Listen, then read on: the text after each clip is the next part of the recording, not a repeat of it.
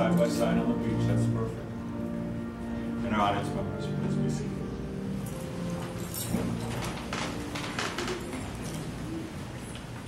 Um, first of all, I just wanted to say how really incredible it is to have so many smiling, dressed up people here this evening, especially on a day as hot as today. Most of the time when people come in to be married, really, most of the time they don't have anybody with them, so I'm sure they appreciate you all being here today. Welcome. Kevin, Sarah, before I have you say your marriage vows, would it be okay just to say a few brief words about commitment? Okay. So I really believe it's so incredibly easy for any one of us to meet plenty of people in our lives who'll promise to call us, promise to do things for us, and I think we still, I think we still want to believe in that that people are going to follow through and do what they say they're going to do. Unfortunately, that doesn't always occur. Sometimes we wait and we wait and they don't follow through. So I think for a person, for each of you to find that person in your life who's ready to make a commitment to marriage, it's like being a wonderful thing. I think the commitment is really when we're asked by our loved ones to do something that's very important to them. Some days, if we're completely honest, we don't always want to do it. But that's the commitment. We don't want to do something. But I think that moment when you're asked by your loved one to do something that you don't want to do or that you don't care to do, I think that's a moment that it can really serve as a much higher purpose. Just as a reminder to remember how much you love your spouse, that you're at least going to try to see things from their perspective. It's easy for me to say, a lot harder to do when you don't want to do something.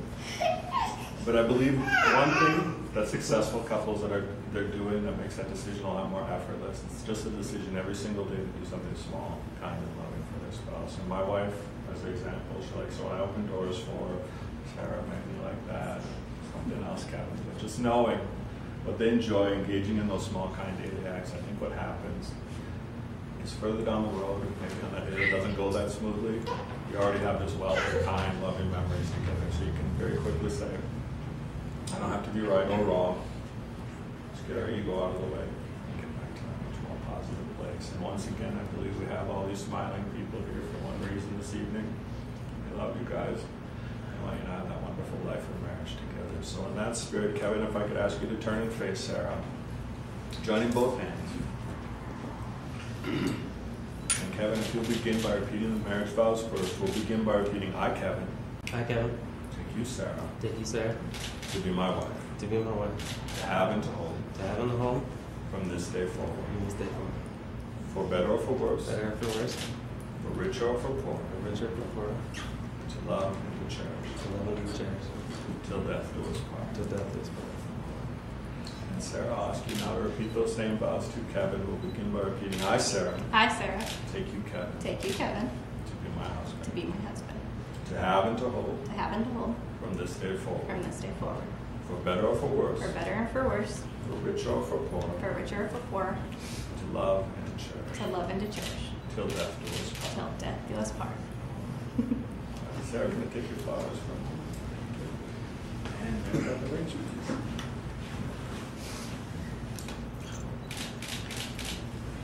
Kevin, can you place Sarah's ring on her left hand ring finger, please? Repeat with this ring. With this ring. I thee wed. I thee wed. I thee wed.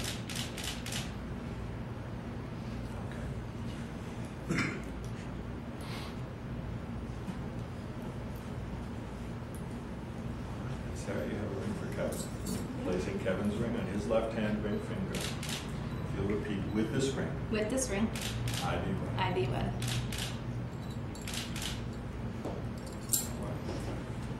Kevin, if stand right here, Sarah right beside me.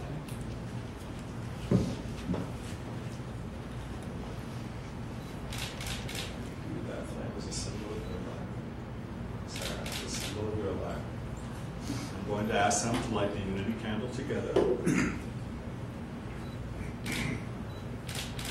Symbol the bond all throughout your lives.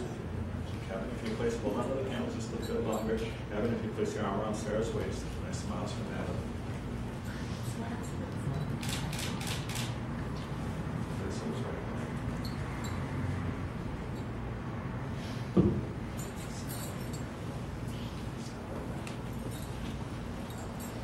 All right. And joining both hands face to face once again.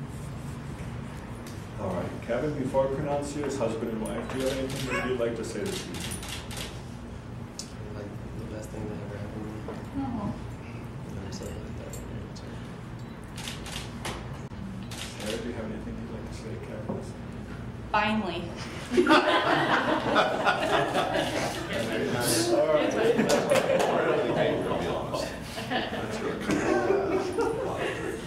So. Forgot where I am, okay.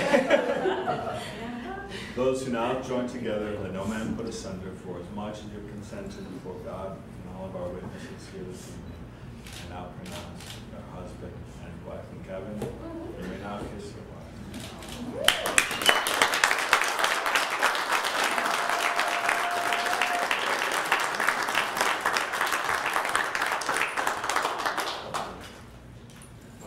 Congratulations. Have a wonderful.